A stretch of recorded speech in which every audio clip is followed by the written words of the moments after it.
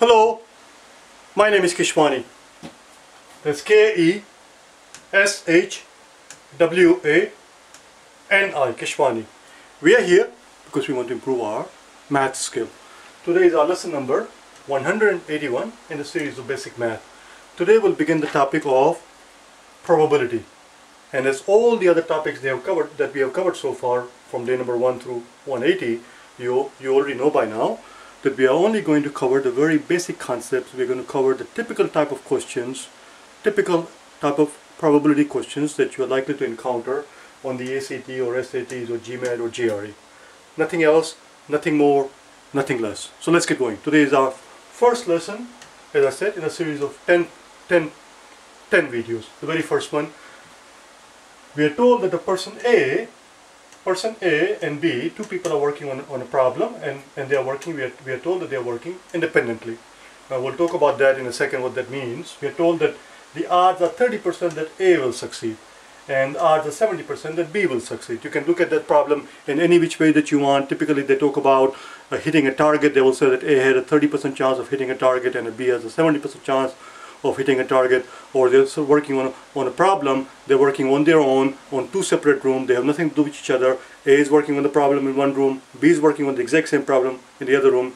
They're working independently they do not influence each other. The question simply is if I assign two people to work on a given problem and they're both working at the same time what are the odds that they will both succeed? Well we know that they're working independently. What does it mean when the two events are independent two events, two events are said to be independent. Excuse me. Excuse me. Two events are said to be independent if the odds, if the odds of one event either happening or not happening has absolutely no bearing on the likelihood of the, on the likelihood of the other. How successful person B is going to be has absolutely nothing to do with whether or not A will succeed and vice versa because they're working independently. If that is the case, if that's the case, if we know for a fact that two events are independent, which, which they are here because we are told they are working independently, if that's the case, then if, if, I don't know what happened to it, if events, if events A and B are independent, then in that case, they're asking us what are the odds that they will both succeed. And this is how we write it. It's very important that we understand the notation. Really understand, very important that we understand language. This is how it's written. The odds, which is same as saying probability, probability that both, both A and B will occur. Now I don't want you to get confused because here I'm using A and B. It's slightly confusing because of my lousy notation here. Here I'm using both I'm using A and B. Both to denote the events. I'm calling them events A and events B and they also happen to be the name of the people. So event A is the event where A will succeed. Person A will succeed and event B is the event where even eh, eh, person B will succeed. It's not a big deal. So if two events A and B are independent then this is how we write it. Probability. The probability the odds that both A and B will occur. Now what, what I'm trying to make you understand is that this is, this is how it's written out, but typically we do not write it out like this every single time, it takes too long. So in the most textbook, in the most textbook, in the most textbook with statistics, and even on the exam, this is how you will see it. A and B. That's it. They will leave out the word both. It's understood that it's both because of the word, because of the fact that it says A and B both A and B will occur. The odds of both A and B occurring, provided that they are independent, provided that they are independent, is simply the odds of A happening times the odds of B happening. That's all it is. That's all. That's how simple it is. One more time, this this this relationship will only hold if they are independent. We have to make sure that the events are labeled as independent. Here they are. If I'm shooting at a target and you're shooting at the target, whether or not you hit the target has nothing to do with whether, whether or not I'm going to hit the target, and vice versa. If I'm working on a problem in one room and you're working on a problem in a same problem in a different room, we have nothing to do with each other. How likely, are, whether or not I will be uh, solve, succeed in solving the problem has absolutely no, no bearing at all on whether or not you will succeed in solving the problem, and vice versa. These two events are independent. And since they're independent, the likelihood of both of them happening is the product of the two events. The rest is very simple. Rest is very simple. We are told, we are told that A has a 30% chance. A has a 30% chance. So 30% we can write it as 3 over 10 times we are told that B has a 70% chance. As I said, rest, rest is very simple. 70% chance, that's 7 over 10. Keep it very simple. Now we have 3 times 7 which is 21 over 100 which is same as 21% or if you like 0.21. How, how, however the problems, however the answers are presented to you in the exam, that's what you will pick.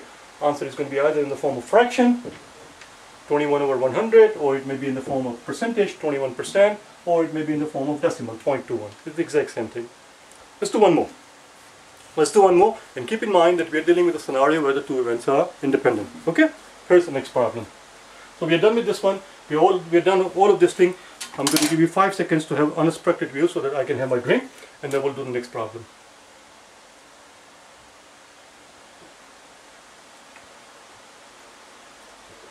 Let's do one more. These are very basic, very simple scenarios that you encounter in the exam, as I said. In the exams, in the test, ACT, SAT, GRE, GMAT, you're not going to encounter any complicated probability problems. Very simple, very straightforward problems. And that's what we're going to do in the, in the 10 videos. We're going to cover all the bases. I'm going to erase all of this, all of this thing now. We already understand what that means. Let's do one more problem. This time, on the typical problem that you encounter on the, on, on the test is where they talk about either tossing a coin or rolling a dice. Let's talk about tossing a coin. So this time you're going to toss a coin. Well, if you toss a coin, whether you get a head or a tail on the first toss has absolutely no bearing on the odds of getting a head or a tail in the next toss or the toss after that or the toss after that. Each of the toss that each time you each time you toss a coin, these events are independent. These events are independent because the coin has no memory. The coin is not going to say, well, I was ahead last time, I better be tail this time. No. Each time the odds of getting either a head or a tail is just 50%. So let's find out what are the odds of getting two heads in a row. We're going to toss a coin. Toss a coin. And the odds of getting two heads in a row, two heads in a row by the way, is the same exact odds as getting two tails in a row. No different. The odds of getting two heads in a row or two tails in a row is same, which is also same as the odds of getting either a head on the first try and a tail on the second try, or the tail on the first try and the head on the second try. All these are all equal to each other because in each case, every time you toss a coin, the odds are 50% of getting either a head or a tail. The odds of getting either a head or a tail on the second, second toss is also 50%. Therefore, it doesn't matter which combination you're looking at, the odds are one quarter one quarter or 25%. There's a 25% chance that you will get either two heads in a row or two tails in a row or head on the first first toss and a tail on the second toss or vice versa. Let's do one more. How about how about the odds? If the question asks you what are the odds, what are the odds? What are the odds of getting 10 what are the odds of getting 10 heads in a row. And of course we understand that the odds of getting a 10 heads in a row is the exact same odds as getting the two 10 tails in a row. Makes no difference. The odds of getting a head or a tail on the first try is one half. The odds of getting a head or a tail in the second try is one half. Odds of getting a head or a tail on the third try is one half, and so on and so forth. It goes on up to 10 times. And that's the odds of getting all heads, all, all 10 heads, or odds of getting all 10 tails. And that boils down to, that simply boils down to 1 half to the 10th. Very slim chance, as you can see, it's a very small amount. I'm going to raise all of this thing. We need the room. Let's do one more problem, shall we? Let's do one more problem. And this time we're going to, instead of, instead of tossing a coin, we'll roll a dice. Instead of tossing a coin, let's roll a uh, dice, shall we? Let's roll a dice. Just give me one second here. I'm deciding whether or not I want to digress. But allow me to digress just for a second. And of course, digress means exactly what it says. To digress, of course, we understand. To digress, of course, we, we understand it means to change topic. Uh, and we learned this word in our vocabulary lesson long time ago on day number one. If you're interested in improving your vocabulary, it doesn't matter which exam you're preparing for, just type in the name of the test, just type in GRE vocabulary words day 3 or GMAT vocabulary words day 3, watch the video, learn the word digress. Allow me to digress for a second. We're going to talk about something which has absolutely nothing to do with any, uh, nothing to do with probability at all. I want you to understand this, this, this quantity right here.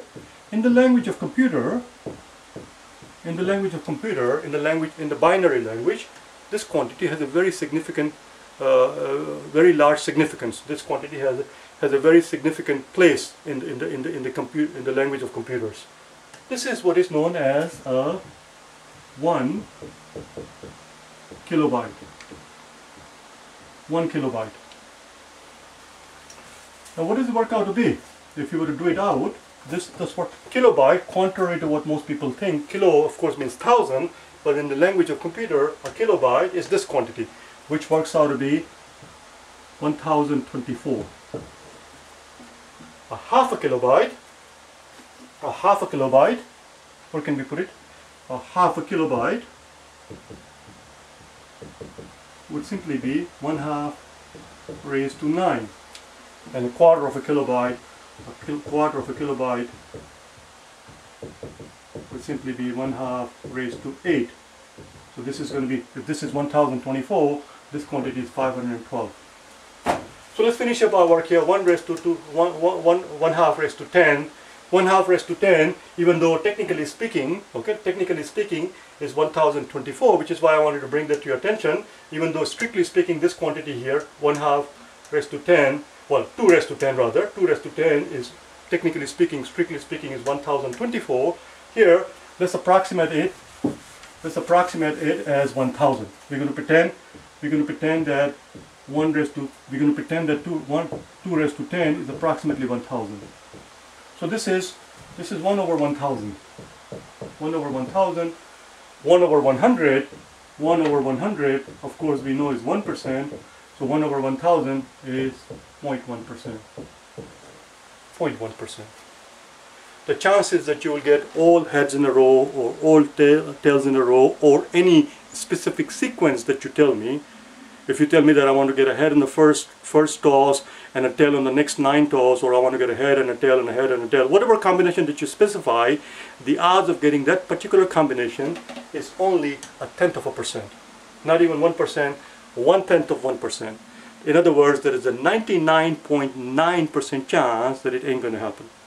Do you understand? Let's do one, one more problem. Let's do one more problem. What are the odds that if we were to toss a coin, what are we asked, I'm not going to write everything down, we're going to toss a coin right here, we're going to toss a coin and we're going to toss it 10 times. What are the odds of getting, what, let's do it right here as a matter of fact, what are the odds of getting, we're going to toss a coin 10 times, what are the odds of getting, getting at least one head? what are the odds of getting at least one head? Well, the odds of getting at least one head, if you toss a coin 10 times, is equal to is equal to 1, which is 100%, 1 minus the odds of getting no, at least one head. Uh, the odds of getting all tails.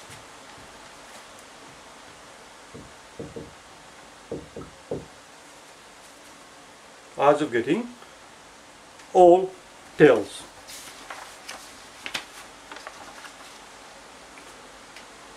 the odds of getting all tails we just saw it it is simply so it's one one minus this this odds that we just saw is simply one half raised to 10 so it's 1 minus 1 half raised to 10 1 minus 1 half raised to 10 and if you work it out it tells you that there's a 99.9% .9 chance it's virtually guaranteed. It is virtually guaranteed that if you, if you were to toss a coin 10 times, it's virtually guaranteed that you will get either a head or a tail at least one time. Because the odds of getting all tails, if you toss a coin 10 times in a row, the, the probability, the likelihood that you keep tossing it 10 times and every single time it appears tail is only 0.1%, is 1 half raised to 10. And since the odds of ha this happening is only 0.1%, therefore odds of this not happening is simply 1 minus this, this event.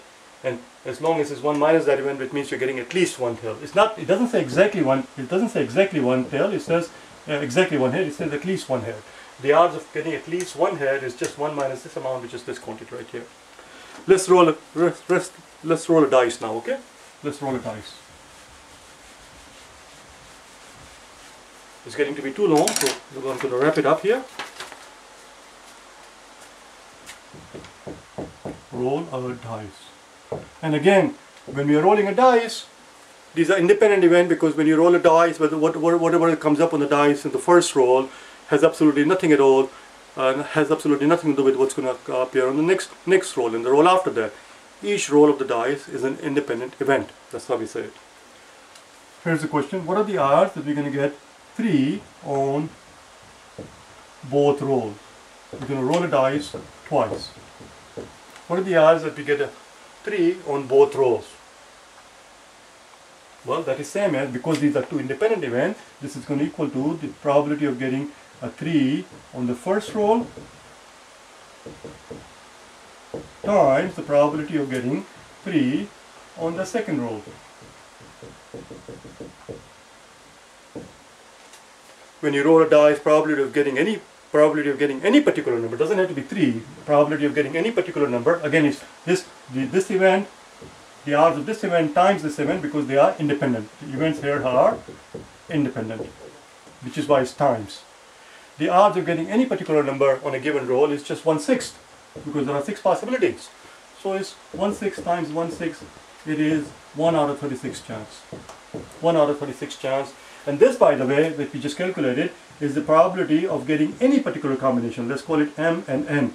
m is one number and n is another number. Not that it makes any difference, but convention dictates, the logic dictates that I put down m and n because typically one writes the variable in alphabetical order. So m is one number, any number between 1 and 6. n is another number, any number between 1 and 6.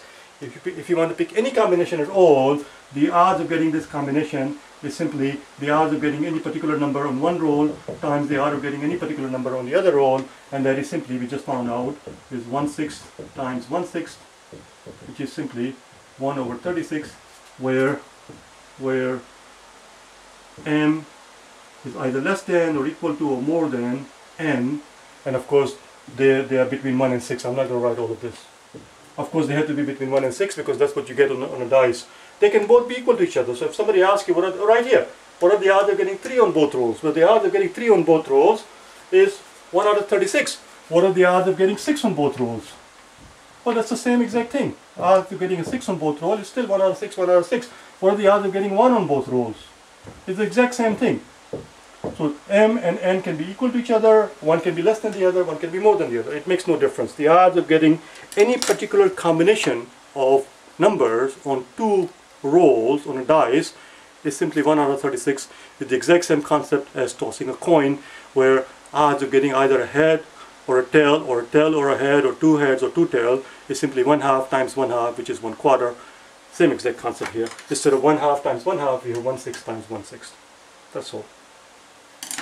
Tomorrow we'll talk about the next concept when the time comes where we'll talk about two events being what is known as mutually exclusive and it is if it is something uh, that you are weak on it is something that you're not sure about make sure you watch the next video. Today we talked about two events being independent.